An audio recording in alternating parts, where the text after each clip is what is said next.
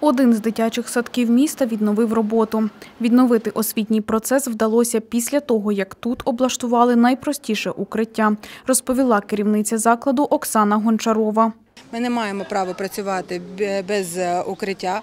А зараз, е, коли в нас є настільки е, чудове укриття, ми не розглядаємо і не хочемо вірити в те, що це укриття, і тому що ну, для нас це страшне слово. Але ми вважаємо, що дуже скоро наступить мир, наша перемога, і це буде додаткова а, лише пригода у дітей, де вони зможуть проводити свій вільний час. Вихователька-методист Еліна Кравець каже, важливо відновлювати роботу, щоб діти навчалися комунікації. Ви знаєте, цього моменту чекали е, батьки, але діти чекали більше, тому що комунікативна діяльність це головне для кожної дитинки е, в кожному процесі, в кожному моменті. Освітня діяльність це головний момент до набуття взагалі е, знань, навичок, досвіду для дітей дошкільного віку. Укриття поділене на кілька приміщень. Тут є спортивні та спальні зони, санвузол та класи, каже Еліна Кравець. Ви бачили, в нас велика площа приміщення. У нас кожна вікова групка окремо знаходиться, коли спускається.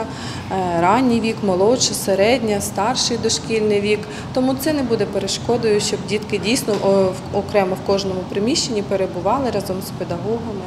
На ремонт та облаштування укриття загалом витратили близько трьох місяців, розповів представник Данської ради у справах біженців Тарас Дубенко. Ми виконували роботи по відновленню підлоги, стін. Потрібно було з підвального приміщення зробити укриття. Найпростіше. Приблизно біля е, 100 тисяч доларів зайняло усе обладнання, усі роботи. Ми е, е, оцінювали кожний матеріал, кожне обладнання по риночних, е, по риночної вартості, але ж по європейським стандартам.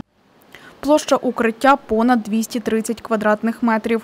У приміщенні можуть перебувати 200 людей. Діти, працівники закладу та за необхідності батьки, розповів Тарас Дубенко.